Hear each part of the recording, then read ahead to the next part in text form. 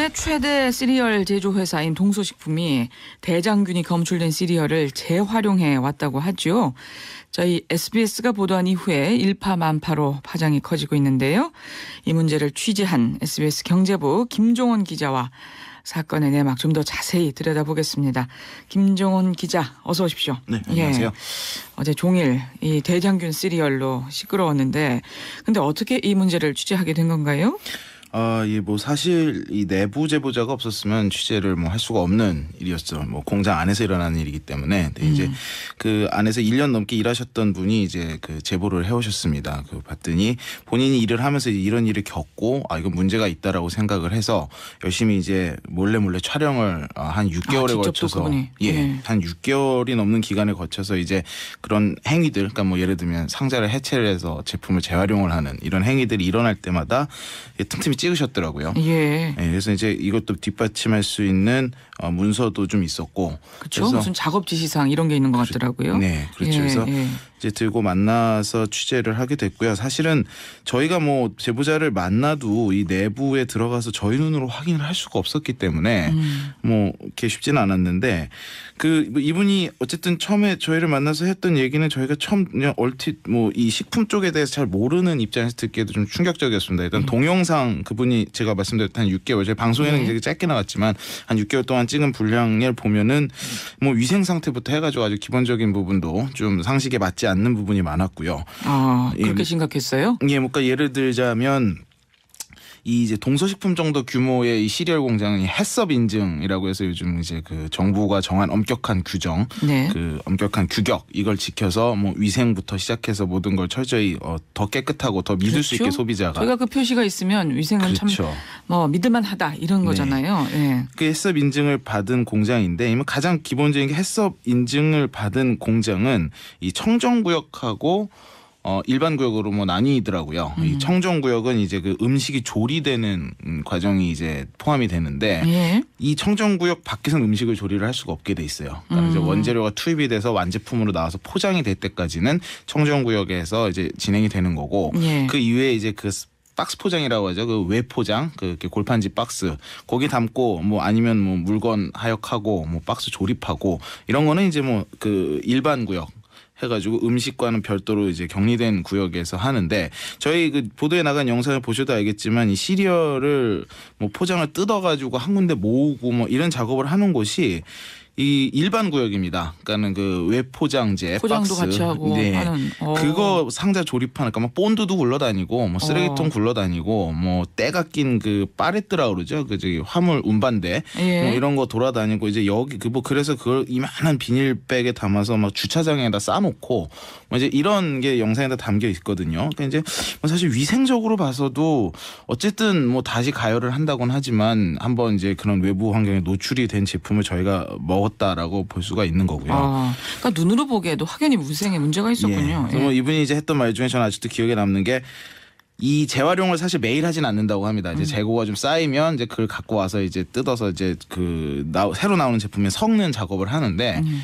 이제 이 맛이 뭐 어떻게 제대로 이게 제조가 됐는지 설탕 배합 같은 건 제대로 됐는지 이거 이제 막 나오는 제품을 이제 맛을 본다고 해요 직원들이. 예. 근데 이제 이 작업을 하는 날은 직원들끼리 야야 오늘은 먹지 마 오늘 그거 한 날이야 뭐 이제 이렇게 하면서 자기들끼리 이제 알고 그날은 또 안 먹었다는 거예요. 아. 예, 그러니까 이제 그 자기네들은 안 먹는 것도 예, 팔았어요. 야, 오늘은 먹지 마 뭐 이런 식으로 했다네요. 그 이게 참 저도 그 아직까지도 기억에 남습니다. 예. 예.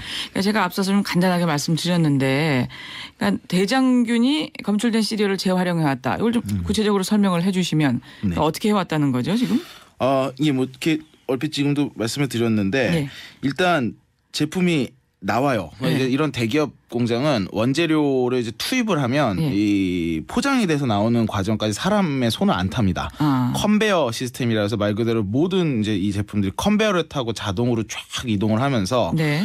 그 하나하나 공정을 모두 기계가 이제 하게 돼 있고요. 예. 이제 사람은 중간 중간에 혹시 뭐 잘못되는 게 이제 감시 정도만 네. 한다고 이제 하는데 이렇게 해서 최종적으로 나오는 완제품, 그러니까 이제 소비자가 포장된 걸 받을 테니 이 네. 이제 포장까지 된 단계에서 출고 전에 검사를 하게 됩니다. 음. 불량 검사를 하거나 이제 이거 전 제품을 전수 검사를 할 수는 없으니까 뭐 한 시간에 하나씩 샘플을 이렇게 뽑아가지고 음. 네. 랜덤 검사죠. 예. 그 검사를 하는데 거기서 어, 나와서는 안 되는 세균이 나왔다거나 뭐 아. 쇳가루가 나왔다거나 예. 뭐 곰팡이가 쓴 뭐 이런 게 발견이 됐다거나 이런 경우는 이 랜덤 검사기 때문에 어디서 또 이런 문제가 발생할지 몰라서 그 같은 원료를 투입한 전 제품을 네. 모두 회수를 하게 돼 있습니다. 아. 그래서 이제 이 중에 그 식품 그 위생법상 안 되는 거는 사실은 폐기를 해야 되는 거죠. 예. 근데 이거를 동서식품 어떻게 했냐면 다 상자를 뜯어서 예. 포장을 뜯어서 아까 예. 말씀드린 그 이렇게 위생적으로 썩 좋아 보이지 않는 장소에서 모두 봉지에 섞어서 다시 제조 공정으로 되돌린 거죠. 그러니까 다시 집어넣은 거죠 이거를. 음. 예. 예. 근데 어떻게 사람 손이 안 탔는데 대장균이 나왔다는 거예요.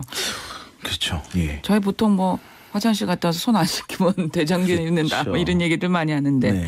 근데 어쨌든 이 대장균이 검출된 시리얼을 다시 예 네, 네. 멀쩡한 제품과 섞어서 만들었다는 거죠. 그렇죠. 네, 예, 공정으로 재활- 되돌린 거니까. 되돌렸다.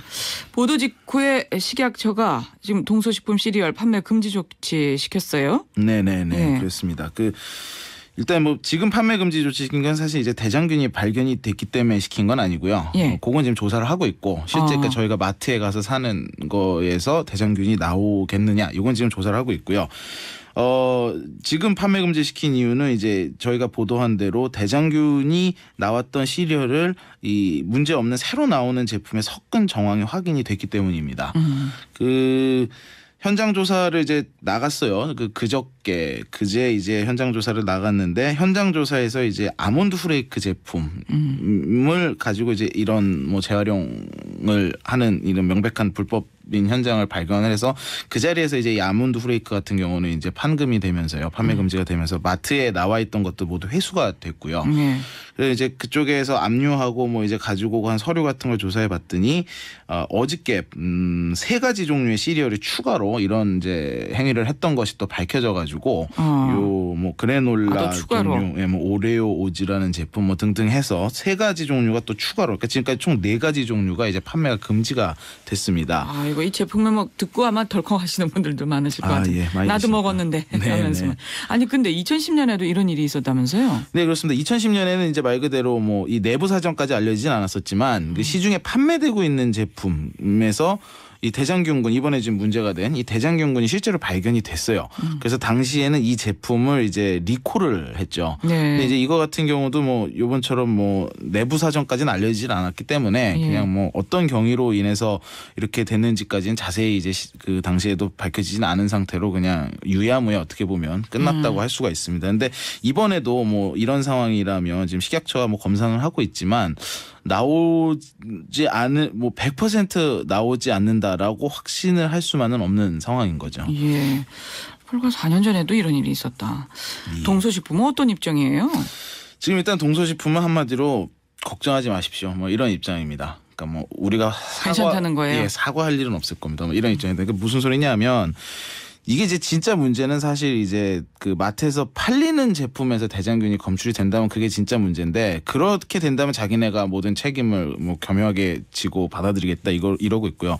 하지만 대장균이 자기네가 재검사를 철저히 해서 내보냈기 때문에 절대 시중 판매 제품에서 나올 수가 없다. 뭐 섞은 후에 뭐 다시 가열했다. 뭐 이런 그렇죠. 논리죠. 네네. 그래서 재검사했더니 뭐 별 문제가 없었다는 논리군요. 네네 네. 그렇습니다. 예. 뭐그 논리 중에 하나가 이제 계속 간- 강조하는 게 이제 반제품이라고 강조를 해요. 이게 어. 무슨 소리냐면은 뭐 원료랑 그러니까 사실 뭐 원료는 이제 뭐 농촌에서 들어오고 뭐 이제 농산물에 그 흙도 묻어 있고 뭐 하다 보니까 원료는 당연히 대장균이 있을 수밖에 없죠. 음. 근데 이제 이걸 공정 과정을 거치면서 이제 그 균을 모두 제거를 하는 게 사실은 이제 이 공정의 중요한 작업 중에 하나인데 예, 원료에 대장균이 있는 원료를 투입을 한다고 해서 잘못된 거는 아니지 않습니까? 어쨌든 공정을 통해서 그 대장균을 제거를 하도록 시스템이 돼 있는 거니까. 그렇죠.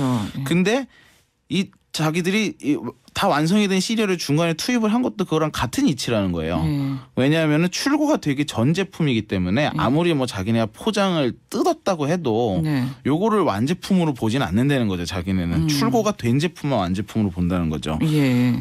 예. 그런 주장이군요. 근데 사실 버리기엔 너무 많았다. 뭐 이런 이야기를 해명으로 또 내놨었잖아요. 예. 그래서 더 좀 화가 나더라고요.